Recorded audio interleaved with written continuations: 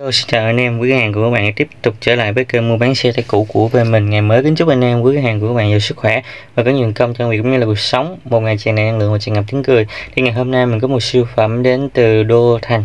Một chiếc xe tải với thương hiệu của nó là IZ65 thùng 10 bạc mở năm bẩn đờ 2018 niên hạn sử dụng đến 243 khối lượng trọn bộ cho phép chở hàng hóa của em nó là 3,4 tấn chạy bằng B2 được thùng dài 4m3 chiều ngang là 1m940 và chiều cao là 1m850 khối lượng toàn bộ là 6,5 tấn khối lượng bản thân là 2,8 tấn.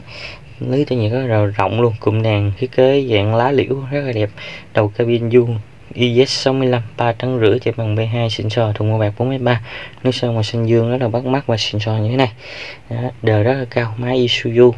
Đó, ra điện tiêu chuẩn thể Euro 4 nội thất rất là rộng rãi ghế ghế ba chỗ ngồi bọc da rất là sang trọng vô lăng rất là to cầm nắm rất là sướng hộp số 5 số tiến một số lùi có máy lạnh, mọi thương lái ra, vô rất là đầy đủ. Xe đi cũng rất là ít, chỉ khoảng à, 50 mấy nghìn km thôi. Nói chung là xe đi cực kỳ ít luôn.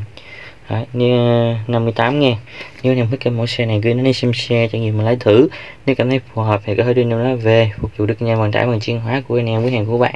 Siêu phẩm đến từ uh, Đô Thành nhà máy Đô Thành IS65 đời 2018 thùng 4m3 3 tấn rưỡi thùng rất là cao.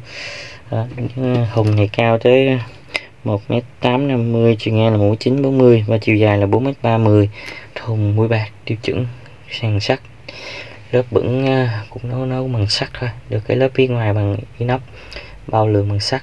Vỏ thì đường kính mâm là 16 inch và 7 inch đồng bộ trước sau bánh to. Nói chung là mọi thứ trên xe đều khá là tuyệt vời. Cho anh em quý hàng các bạn hãy suy nghĩ đầu tư. Đó. Nếu anh em sàn siêu chuẩn đó nha sàn sắt thôi nhưng mà rất là dày và cứng cáp luôn. Đó, một chiếc xe mình thấy cũng tương đối là tuyệt vời.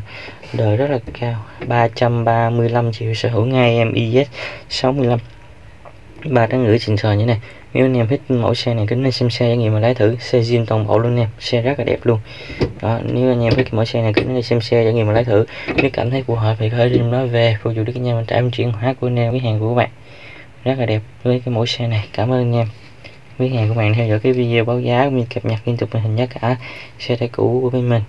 Xe này với trang bị có động cơ 2.7 lít trong sức đẹp 78 kg bắc 2024 máy dầu bốn kỳ bốn xe ngàn máy Isuzu ga điện chạy rất là khỏe và cực kỳ tiết kiệm nhiên liệu. Xe này cực kỳ tiết kiệm nhiên liệu nên anh em xe zin toàn bộ 100 phần trăm luôn là zin toàn bộ luôn.